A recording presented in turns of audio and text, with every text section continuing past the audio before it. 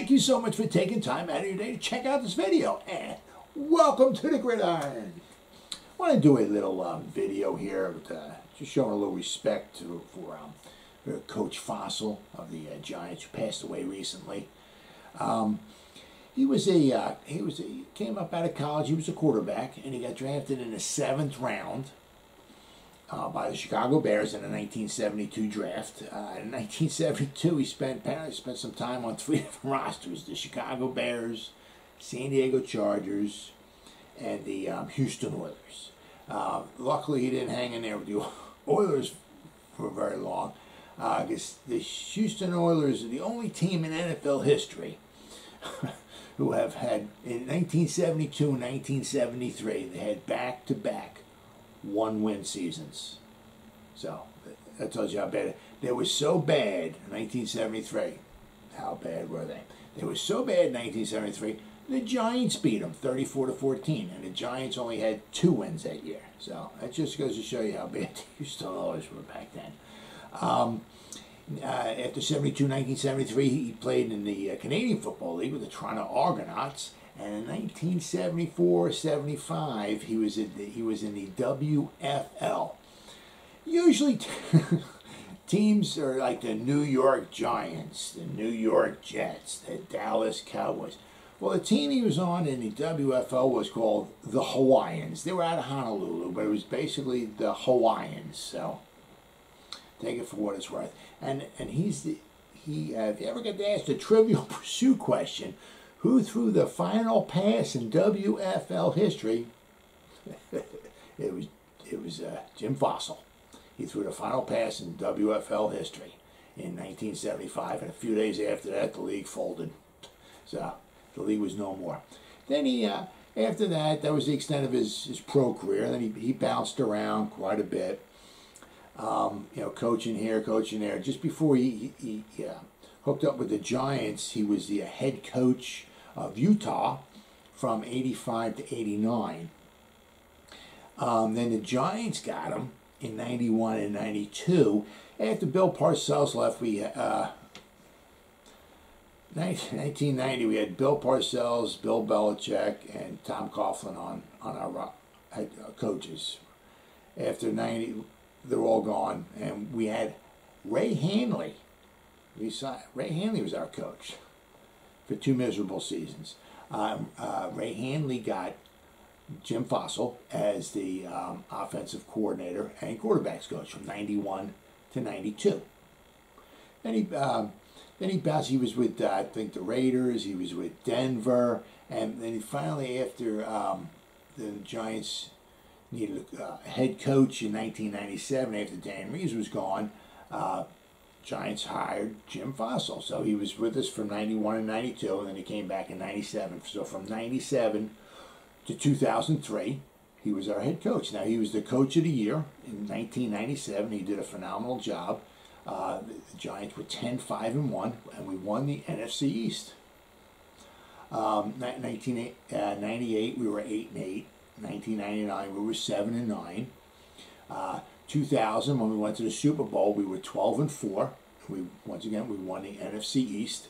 Um, I believe we were seven and two in 2000. We lost a couple games in a row. One game we lost. We lost the second game that we in a row that we up losing. I think it was to the Detroit Lions. We lost 31 to 21, and uh, so we became seven and four.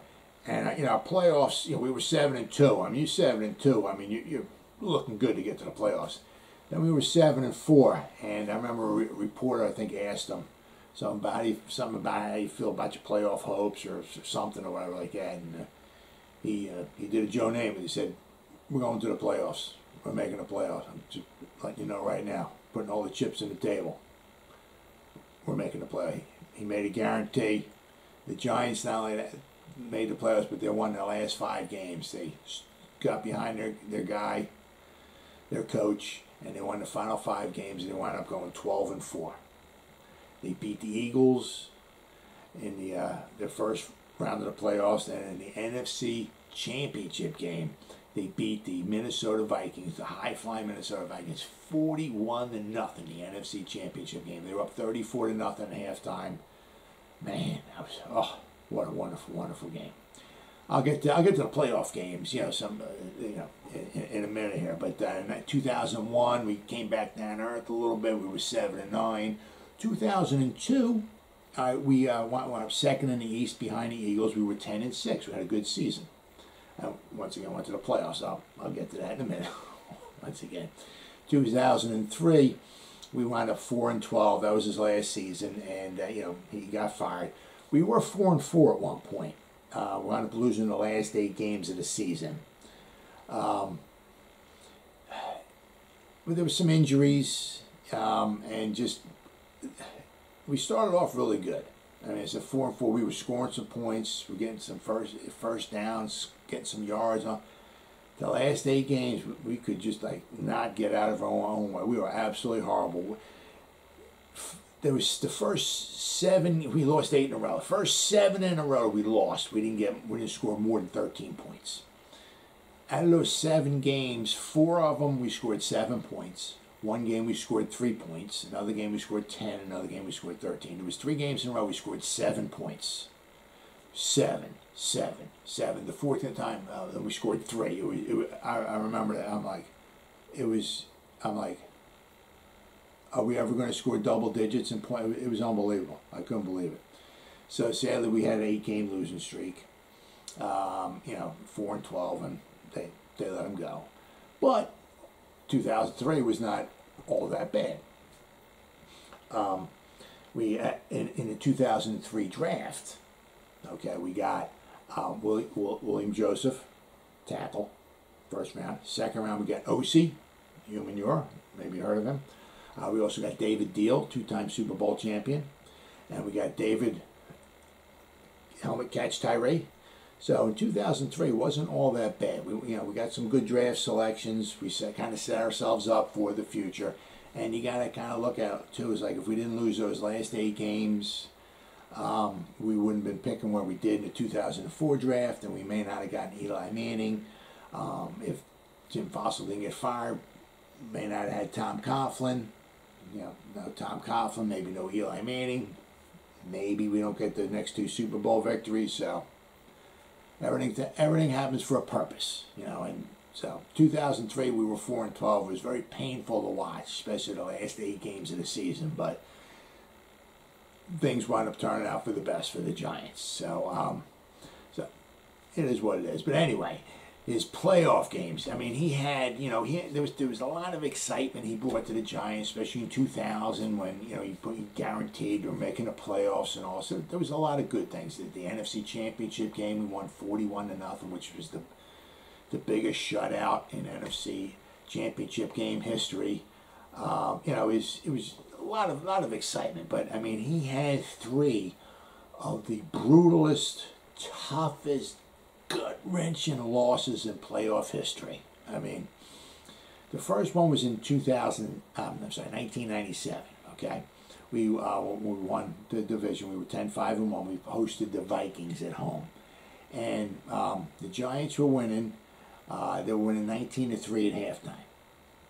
They were winning 19 to 10 at the end of the third quarter. And they were winning 22 to 13. They were up by nine points. They were up by two scores with two minutes to go in the game. And I remember, I remember that game. We were up 22 to 13. The Giants scored, you know, and it was, there was like five minutes to go in the game or so, somewhere around there. And I remember Randall Cunningham, the quarterback of the Vikings, like, you know, calling a play. It's like five minutes to go, four, four and a half. minutes. The clock's ticking, and he, and they're just like walking up to the line of scrimmage. You know, he's like looking around. I, I remember saying to myself, doesn't he realize he's down by two scores? Where where is the sense of urgency? Well, didn't seem to much matter, but I, I distinctly remember saying to myself, I mean, why, why are these guys hustling to the line? I mean, they're down by two scores. Well, there's the Giants got uh, they blew it themselves, but they also got screwed too. Um, with a, about a minute to go in the game, Randall Cunningham throws a 30-yard touchdown pass to Jake Reed. Now, if you look, if there's back then, there was no instant replay, there was no flag, you couldn't call, have them review the play, or nothing like that. But So it was 1997. But if you look at the replay and you stop it, the referee was behind Jake Reed. He wasn't on the line. Jake Reed caught a pass, looked like he got both feet in, da- in bounds in the back of the end. But the, the referee was not on the line. He was not staring at the line when Jake Reed's feet came down. He was behind him. So he didn't have a good view. But if you look at the replay, okay, he gets his right foot in bounds, but it certainly looks like his left foot is on the line. Shouldn't have been a touchdown. But they gave it, they gave him a touchdown. Now it's uh, 22 to 20. Vikings kick an onside kick. The, the ball bounces off of Chris Calloway's like chest. Ball goes loose. Vikings recover it, and then they wind up kicking. Uh, Eddie Murphy, uh, Murray kicks winds up kicking a 24-yard field goal, and the Vikings win 23 20. They scored two times in like the last minute 10 of the game, and they beat. They scored 10 points in the last like minute 10, 20 of, the game, and they, they beat the Giants. Unbelievable! I couldn't believe it. The next one was obviously when they had the um, they went to the Super Bowl and they lost to the um, to the Ravens thirty four to seven. I mean, you know, it is what it is. You know, but it, one thing that that one of the real rare occurrences in a football game. Okay, I don't know how many other times this ever happened, but three plays in a row were touchdowns. Okay. It was only 10 nothing at halftime, and the Giants threw four interceptions. They fumbled the ball once. They had five turnovers. Of course, the Ravens didn't have any. You know, so the Giants were, you know, had a hard time moving the ball. They had a hard time doing much anything. So Kerry Collins started pressing, you know, getting throwing balls in where he really shouldn't have. And um, the one pass got picked off by Duane Starks. He ran it back 49 yards for a touchdown. Well, on the ensuing kickoff, okay, Ron Dixon ran it back 97 yards for a touchdown for the Giants. Now we're back in the game. Now it's 17 to 7. I mean, we're all fired up and all that, and everything's all excited, you know. And then on the next kickoff, okay, Jermaine Lewis runs it back 84 yards for for a touchdown. So now it's 24 to 7. Now we have to score three times again, and you know we couldn't even move the ball. So to try to think we were going to score three times wasn't happening. So, but three successive plays in a row with touchdowns. That doesn't happen very often. I don't even know how many other times it's ever happened in NFL history. Probably it's happened, but you know, very, very rare. But I mean, it's it's like it wasn't like you know, you look at the score, it's like man, that was lopsided. No, I mean the Ravens had 244 yards of total offense. The Giants had 152. 396 yards of total offense in the game is the lowest of all time. Okay. The Ravens scored 34 points with 244 yards of offense. The Ravens didn't move the ball. Brandon Stokley, I think, was the leading receiver in the game. He had three receptions for 52 yards. That's how much offense was going on in this game. It was brutal. So, so was the final score, and the Giants got their rear ends handed to them. The third game, the third playoff game, was possibly the worst of all. 2002, when we went to the uh, the playoffs. We were 10 and 6, finished second in the NFC.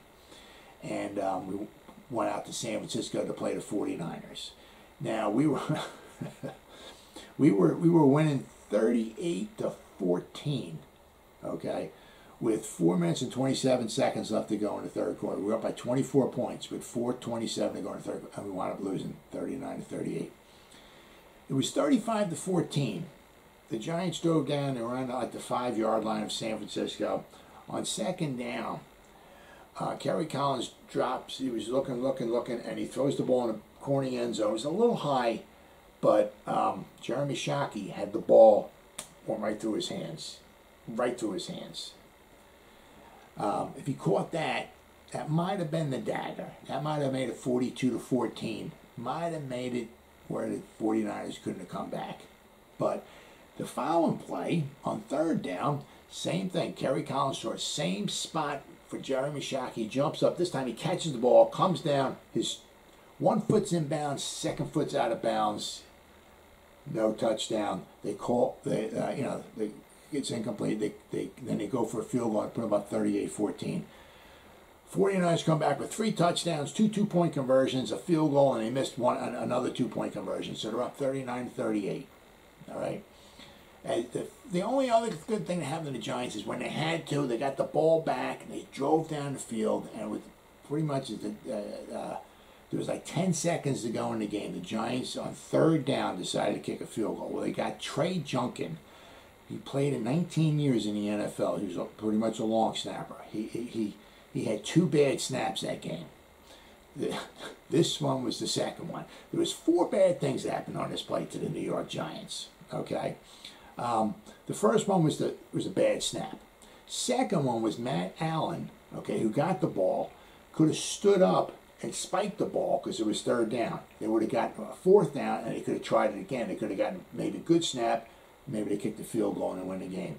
Matt Allen didn't do that. So Matt Allen gets the ball and starts, you know, calls a signal, eh, you know, and and wh- whoever is supposed to be a, a, designated receiver runs down the field and he's going to try to throw throw a pass him.